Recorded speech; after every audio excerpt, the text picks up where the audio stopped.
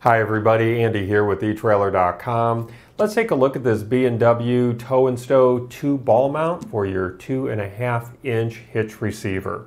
Now this B&W Tow and Stow adjustable ball mount is going to slide into your 2.5 inch hitch receiver and this is going to let you tow a variety of trailers with different heights and having both a 2 inch hitch ball and a 2 and 5 16 inch hitch ball is going to give you even more flexibility, making this a great ball mount for you to consider if you own multiple trailers. Now, when you are not towing, you can flip the ball mount platform around and stow it beneath your hitch so that this will not uh, bang into your shins when you're walking behind your truck. Let me give you a brief demonstration of how that's going to work. So first I'm going to remove the, the clip and the pin for our ball here and I'm just going to make that uh, go laterally there, horizontally, and then replace the um, pin and the clip and um, when you put this in the horizontal position, your pin and clip, your pin will go through here. And then when you're using either the two inch or the two and five sixteenths inch hitch ball, your pin and clip will go through that hole. Now I'm gonna go ahead and remove the clips and the pins here. Obviously this is going to work a lot uh, easier when you are, uh, when this is mounted on your trailer hitch receiver. So once I have those pins and clips removed, I can then fold this back behind our um, mount and slide those pins back in, lining up those holes just like that. And then I'm not going to replace the clips, but of course you do want to replace the clips. And as you can see, that's going to be nice and uh, flat at the back of your truck. So you're not going to have to worry about damaging your shins when this is in the stowed position. And then uh, when you are ready to adjust the height, uh, the drop or the rise of this, obviously you'll flip this back to the front of our um, uh, mount and then you're just going to easily slide this up and down to wherever you need it. What's nice about this is you are not going to be struggling um, behind your vehicle when you are adjusting this. I'm just lining up my holes there. And as you can see, those pins slide in very smoothly, very easily. And I'm going to replace the clips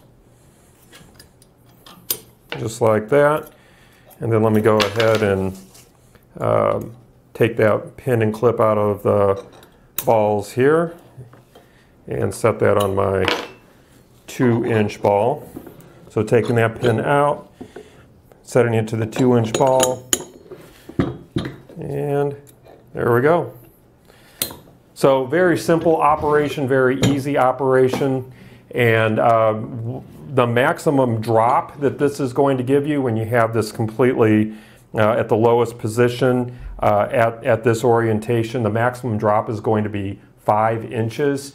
And then the maximum rise when you have this flipped over and you have this all the way up, it's going to be about four and a half inches. So you're going to get um, an, an incremental height adjustment of one inch. And to avoid this tow and stow hitting steep driveways or curbs, we do recommend at least 11 inches of clearance 11 inches of clearance between the ground and the lowest point of the drop hitch and as you can see there demonstrated by that photo. Now this channel not only allows you to slide the ball mount platform up and down to adjust the ball height but it also prevents the removal of the platform when the ball mount is installed and there is a slot that is cut uh, into the adjustment channel near the top of the shank here, as you can see it right there, hopefully. And that's going to um, that that's going to allow you to remove the ball mount platform from the shank. But to do that, you're going to actually have to remove the entire ball mount from your hitch. So if you have this secured uh, in your hitch, someone just can't walk by and yank this mount off. They would have to completely remove this to uh, to remove this this platform. So that's a great security feature that is built in to this.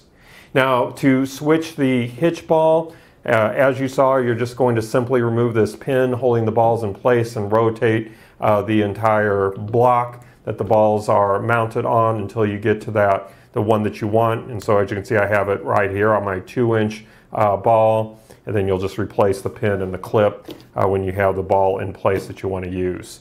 This has a gross towing weight when used with the two inch ball of 7,500 pounds as stamped there on the ball. And then when you use this with the two and five sixteenths inch hitch ball, as we have stamped right here, you're going to have a gross towing weight of 18,000 pounds.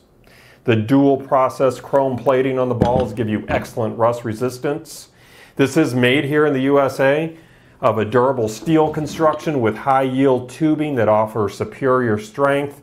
The black powder coat is going to give you uh, great corrosion resistance and these stainless steel pins are going to give you a sturdy rust resistant connection points. Now B&W is known to make great products, high quality products, well built and well designed products and this is no exception. Uh, this is um, it, it, operates very smoothly and uh, very well built, very robust, and I think it's going to be very long lasting for you. Now, some measurements that you might be interested in um, regarding uh, this uh, tow and stow. The, for instance, the distance from the center of the hitch pin hole to the center of our hitch balls beginning with this hitch pin, beginning with this hitch pin hole uh, that is closest to our ball. So measuring from center to center, we're sitting right at about nine and a quarter inches. And then moving to the hitch pin hole that's farthest from the ball, we're sitting center to center about 10 and 3 eighths inches. And then the distance from the center of the hitch pin hole to the center of the holes on our mounting block here, from center to center, beginning with the closest hole, is about three and three quarters inches. And then moving to the uh, farthest hole here, about four and seven eighths inches.